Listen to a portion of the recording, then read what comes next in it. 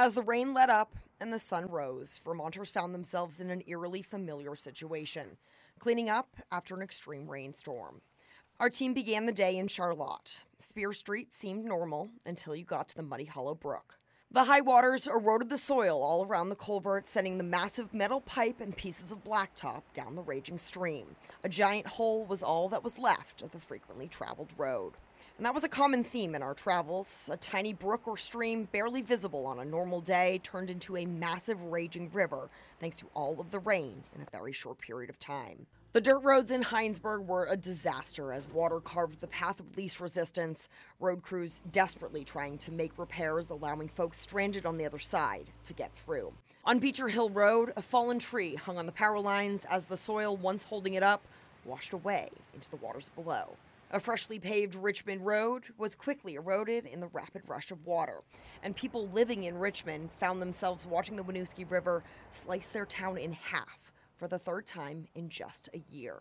Unlucky folks who left their cars in the Richmond Park and Ride came back to find them floating in feet of water.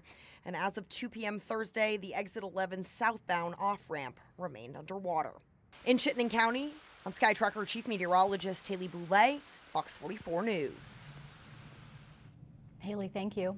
Now in the Northeast Kingdom, Police Chief Jack Harris tells us this is the worst flood Lyndonville has seen in decades. He said many people are out of their homes and many others rescued.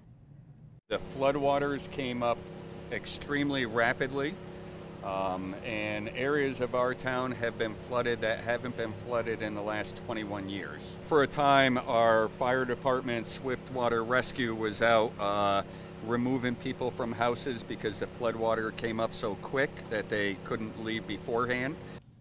Just down Interstate 91, Barnet is dealing with catastrophic washouts. A section of Route 5 and several other roads have collapsed, resulting in several road closures. People who live here say power has been restored, but many were still without water. And in Washington County, many homes were hit hard by the storm as well.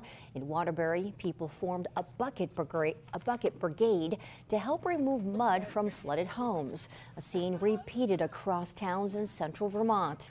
In Plainfield, Art Edelstein looked at the damage yesterday around a home he has owned for 50 years and now rents to tenants. I mean, there's just mud everywhere now, and uh, I haven't I haven't been inside. I don't know what's going on. Um, this is, in my impression, catastrophic. I've just never seen anything like this.